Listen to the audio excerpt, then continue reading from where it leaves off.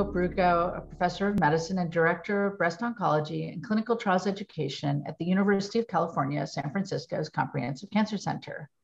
We're going to talk about some interesting updates from ASCO 2021. And with me today are my excellent uh, colleagues, very knowledgeable and key opinion leaders in breast cancer, Dr. Jennifer Litton, who's professor of medicine and vice president of clinical research at MD Anderson's Comprehensive Cancer Center, and Dr. Bill Gradishar, who's professor of medicine and chief of hematology oncology at Northwestern University.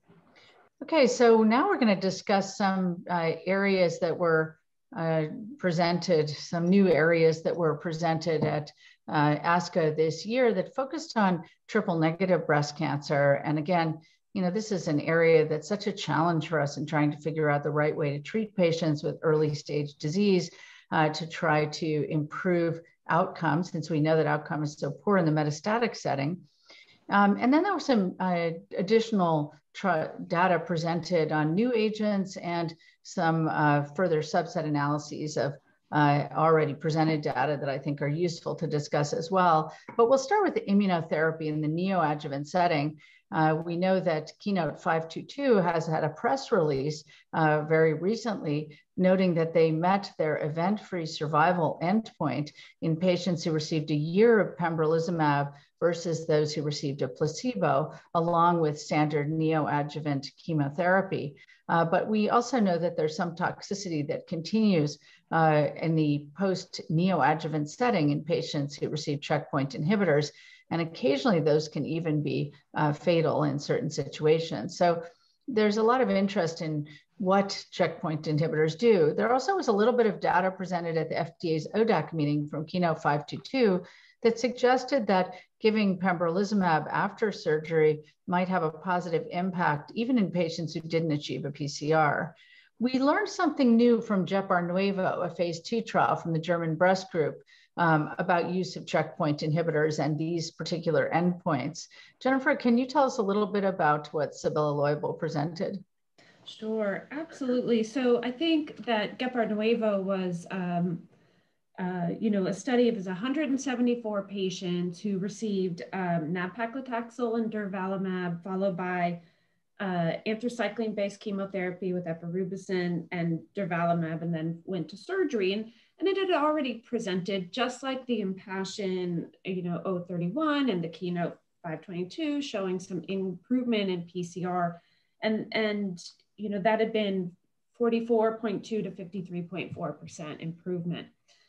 And what this did was actually looked at a median follow-up at 43.7 months and showed that question that everyone's asking for the use of immunotherapy, what about those longer term survival curves?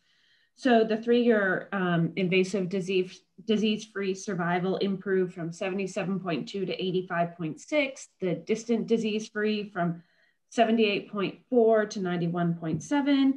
And they're seeing a separation in the overall survival from 83.5 to 95.2%.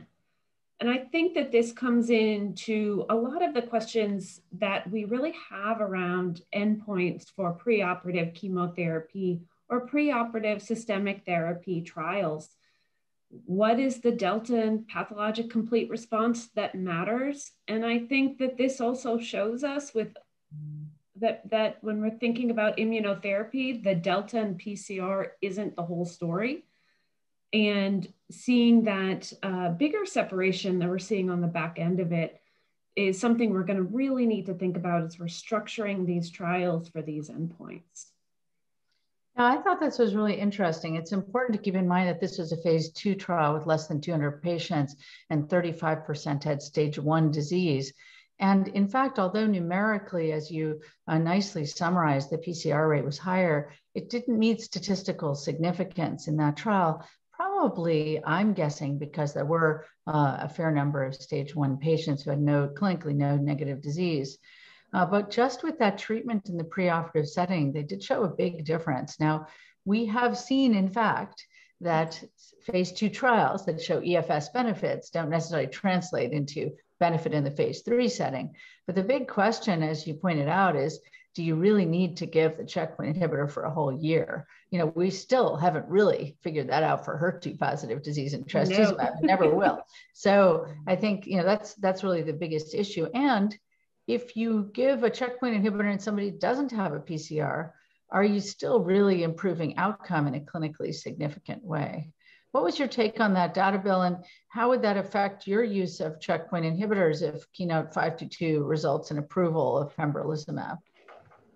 Well, you know, I think that all of this stuff is intriguing, but, um, you know, GeparNuevo falls in line with what the other trials showed with respect to PCR, but where it, it, it shines a bit is with the longer term follow-up. So again, it's a smaller trial, but nonetheless, I think, uh, you know, it's consistent in a sense with that. Now, are we using checkpoint inhibitors routinely preoperatively? We are not. And I still agree that we should not be doing that routinely.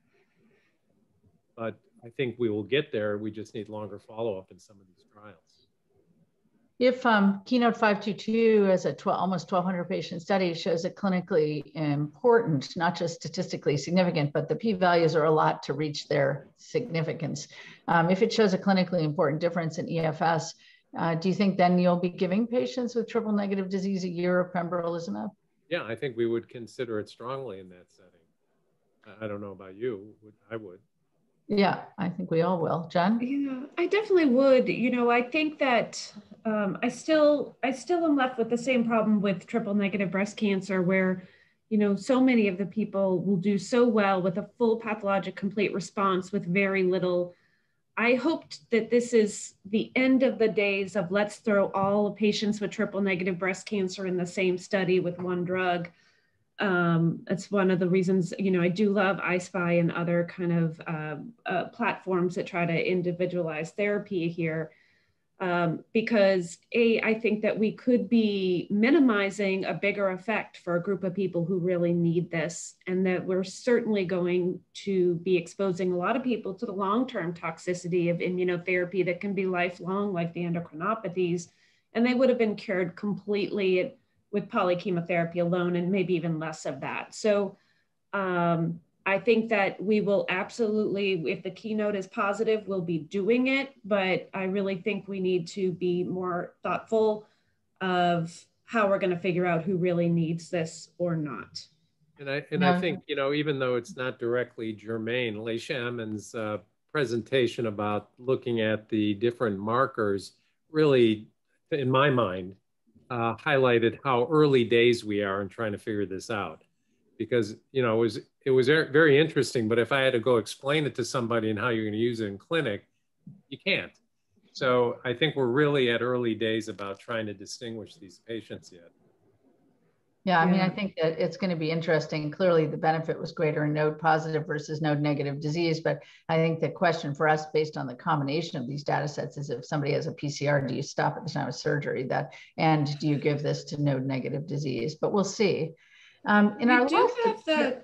Oh, I'm so sorry. We do have the SWOG 1418 that's rounding the corner of ending soon at some point um, looking at just purely, you know, the year of pembrolizumab for high risk uh, patients with triple negative breast cancer, you know, I think that we'll get some more information there.